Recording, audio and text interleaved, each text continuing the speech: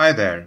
So in this video I'm going to show you how to create procedural animations with Bifrost. We're going to recreate these ripple effects. I have just a starting scene with an animated camera and ball. I'm not an animator so forgive me for the poor quality of the animation.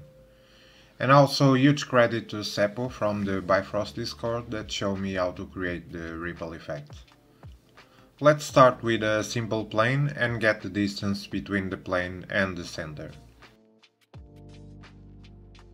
Now with the time node we can add a control for the speed with a multiply. Then we can just add those values together. Next we need to control the frequency of the waves, again just multiplying by a value. Let's feed the output to the cosine node this is the node that will create the waving effect. Now, the cosine will be our y-axis displacement. For the x and z, we'll just get them from the point position of the plane. Finally, we can displace the points. Let's just increase the speed and the subdivisions of the plane.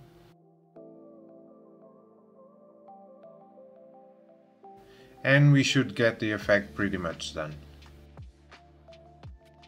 Okay, now in order to have evenly distributed instances, we will use the quick read from ValHallen compounds. We will also have the possibility to create patterns with this compound. Increasing the size of the grid and we'll also copy the spacing values from my original graph.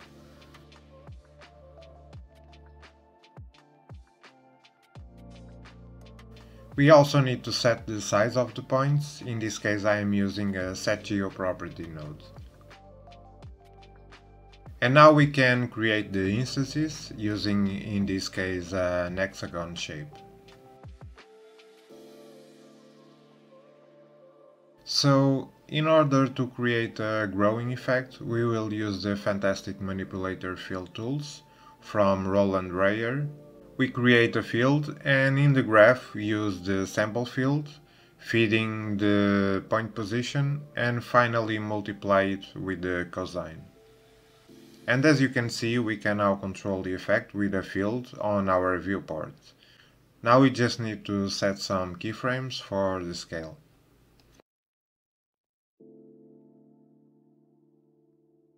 Let's just quickly adjust the spacing of the grid. This is pretty much done, but I am just going to show you how to control a bit more the effects by adding a few nodes to adjust the offset of the waves. So instead of using the um, seconds port from the time node, we will use the frame so we can offset it with a simple value node. Also adjusting the frequency and adding a control for the height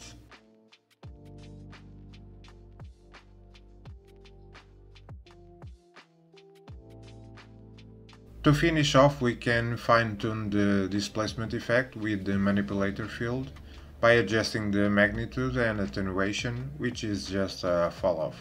And from here you can just add more details to the hexagon and do the usual render setup with lighting and depth of field for instance.